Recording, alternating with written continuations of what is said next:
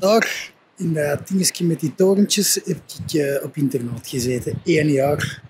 Eh, met de bedoeling om mij goed herop te voeden. Maar ik denk dat ze op een internaat je skills eh, leren fine-tunen. Ik heb er ook maar een jaar eh, mogen zitten. Eh, met het vriendelijk verzoek om toch een andere school te zoeken.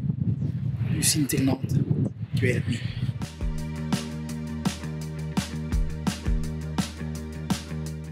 Voilà, dat is de zijkant van het gebouw. En hierboven, hier, even zien, dat was mijn kamertje. Daar sliep ik. Hè. Ik stiekem sigaretjes te roken.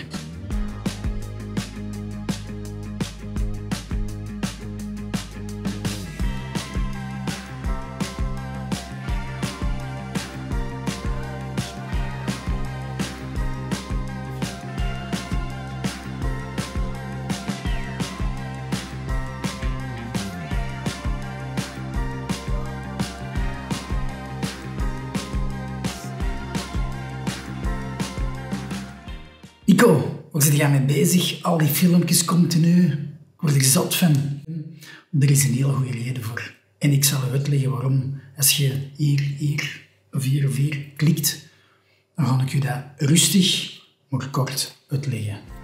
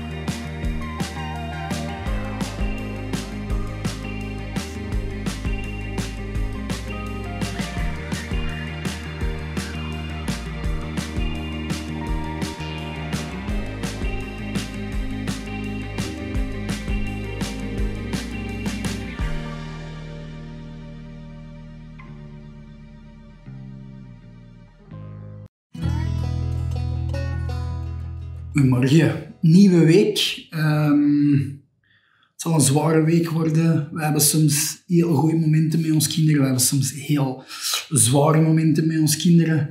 Ehm, dat is nu zo. Daar moeten we mee leren omgaan. Deze week gaat een zware week worden. Dus eh, ik hou mijn hart vast ehm, om te zien hoe dat het deze week allemaal gaat lopen. We gaan er het proberen het beste van te maken.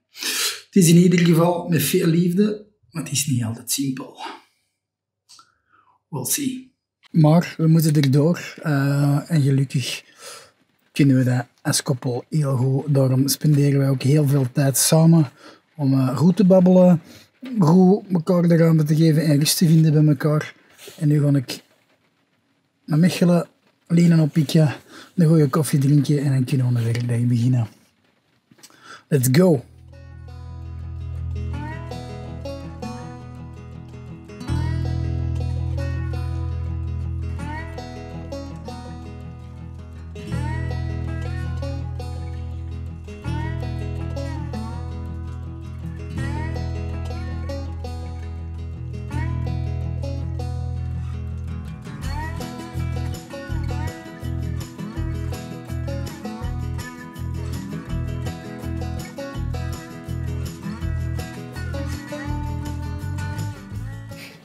Dat was u misschien nog niet opgevallen, maar wij, wij wandelen veel. En daar is ook een heel goede reden voor. Het is goed voor de geest, het is goed voor het lichaam. Um,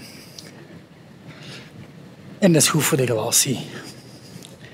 Vroeger wandelden wij heel België rond en reden we twee uur om de mooiste wandeling te doen.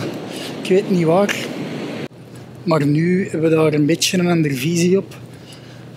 We verkiezen nog altijd mooie avontuurlijke wandelingen in de Ardennen. Maar we verkiezen vooral om te bewegen boven dat avontuur. Dus dagelijks doen we wel een wandelingetje.